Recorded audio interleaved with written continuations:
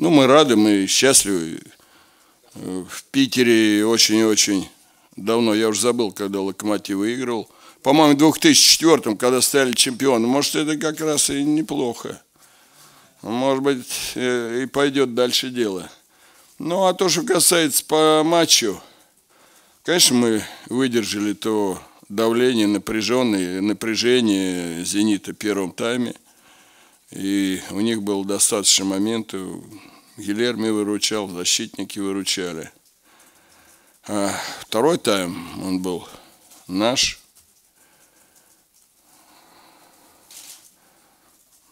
Я только могу ребят поблагодарить за то, что они выполняли то задание, которое мы в тренировках, над которыми задачами мы работали, за э, самоотдачу та, которая была.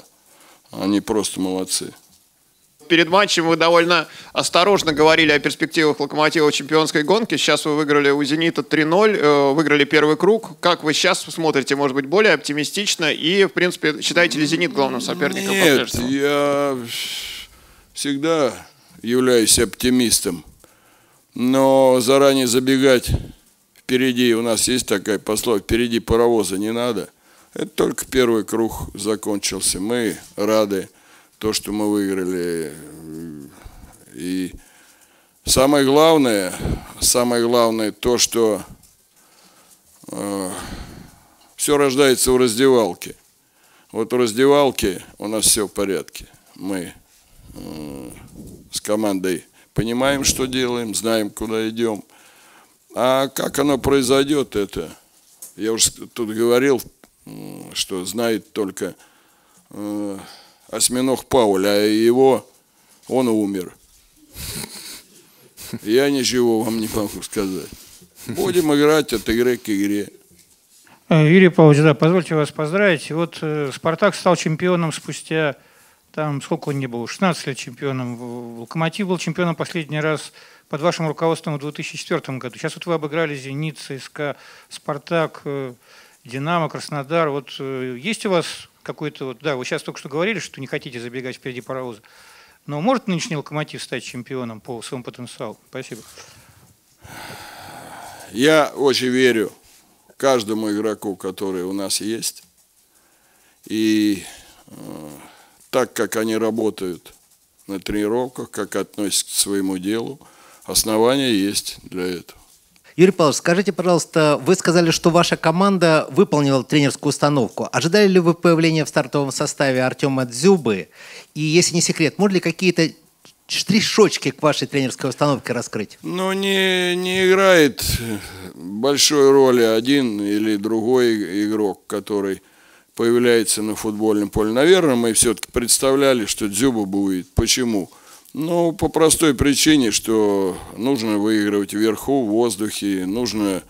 Э, «Зенит» много делает э, передач сланга. Но вот те передачи, которые сланга, «Зенит», э, он больше всех у нас делает в лиге. На мой взгляд, мы с ними справились. Вот это один из таких моментов, на которые мы обращали внимание. Юрий Павлович, победой вас, во-первых. А я думаю, что, э, точнее, в первом тайме было заметно, что вы очень много жестикулировали, а к судье обращались. Вот а, понятно, что победили, и сейчас, может быть, вопрос немного неуместен, но все-таки были ли у вас, есть ли у вас какие-то вопросы сегодня к судейству, потому что ну, иногда казалось, что ситуация может выйти из-под контроля. Послушайте, ну это эмоции. Если нет эмоций, нет футбола. Вот у нас сегодня команда играет с эмоциями, у них есть э, душа, э, у них э, они играют и, и получают удовольствие от, от того, что они много борются, от того, что они азартны. И вот эти эмоции, на мой взгляд, они нам позволяют двигаться вперед. Так же, как и тренеру. Нет эмоций, нет футбола. С победой еще раз. Есть ли у вас какой-то личный рецепт, чтобы не растерять лидерские качества команды в межсезоне? Спасибо. В перерыв я имею в виду. В перерыв? Это проблема наша.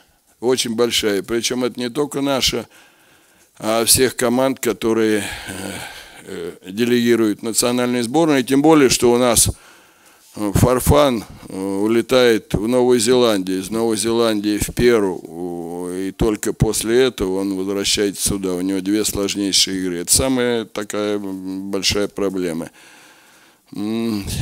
Рецепты. Рецепт один э, подготовительный период, который был, мы его хорошо сработали. Мы, те ребята, которые не уехали, поехали на тренировочный сбор и провели Э, кто мало играет, э, такую предсезонную подготовку. И, на мой взгляд, э, нам это помогло. Это предыдущий такой перерыв.